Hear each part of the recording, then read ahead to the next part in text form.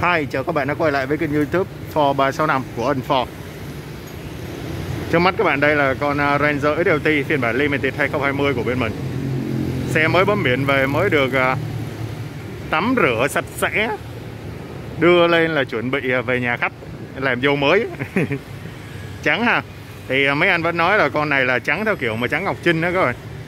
Trắng ngọc trinh đó Thì đặc điểm của con 2020 á Bộ đèn nè full led này. Thì ờ, hiện tại bên mình á, một số dòng là giống như là XLS á, thì bên mình đã bán bộ đèn riêng rồi.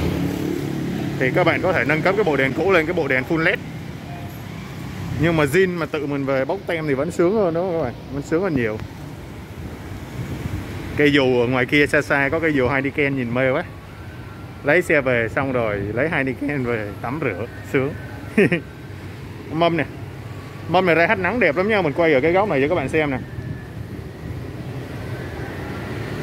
Nắng đẹp cực kỳ luôn á. Đặc biệt là khi các bạn rửa nó kỹ á. Đẹp ha? Tại vì ở cái con mà Ranger mà mà ghi chắc của bên mình á thì cái mâm này ngay chỗ này nó sẽ là màu đen. Các bạn thấy cái, cái dòng chữ limited không?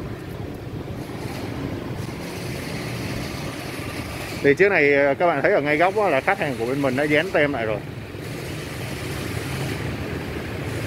Sáng bóng ha. Sáng bóng luôn. Tem này là do khách ờ, tự yêu cầu dán đó các bạn, nghĩa là ở một đơn vị bên ngoài. Còn bộ tem của bên mình thì ở trong hãng cũng có tem nhưng mà một số cái loại cơ bản thôi. Chiếc này ờ, khách đã gắn thêm cái ờ, một cái thanh thể thao này các bạn. Thanh thể thao này là thanh của Ranger chắc á. Chứ mà con phiên bản thì sẽ không có. Với lại là cái nắp thùng. Đây là nắp xéo và nắp mỏng của bên mình, cũng là nắp thể thao luôn. Này, nắp này gắn thêm nổi quá ha.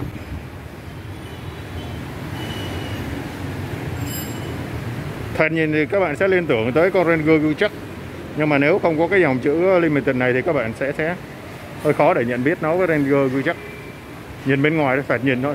Tuy nhiên cái mâm này thì nhìn cho cái mâm và cái chỗ mà limited này thì các bạn sẽ phân biệt được giữa hai phiên bản.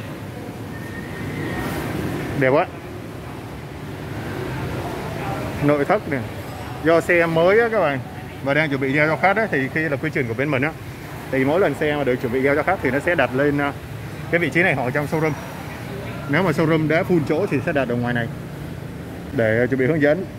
Nhưng mà xe mới với lại các anh mà ở bên cái đội FG á nghĩa là cái đội mà chuyên cái công tác mà chuẩn bị để giao xe và và và làm cho con xe mà nó là trong trạng thái lúc nào cũng ngon lành nhất á thì mấy anh đã đánh bát rồi lau dọn hết cái xe của mình rồi nên thành ra thành ra là của mình nó mình mình ờ, sẽ hạn chế cái việc mà mà mở cái cái cửa ra để tránh là bám cái vân tay.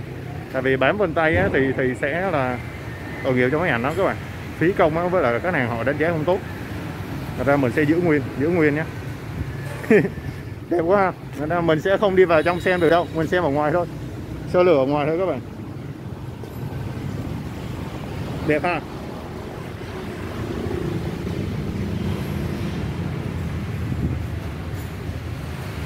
Xịn sò. Đèn cảm biến phía sau này. Quá đẹp luôn các bạn. Quá đẹp luôn.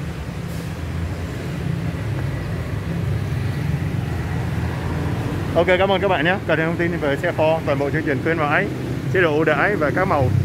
Thì cứ alo mình mình là ân Ford tại Sài Gòn Ford. Cảm ơn các bạn nhiều.